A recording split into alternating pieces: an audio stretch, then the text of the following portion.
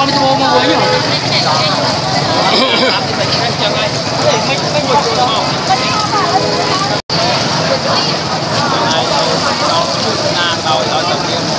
Hôm nay mình đang tay cho ABC luôn rồi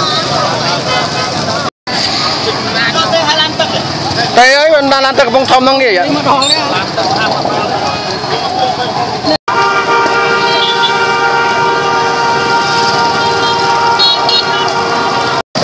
cho mới tôi mua với nhỉ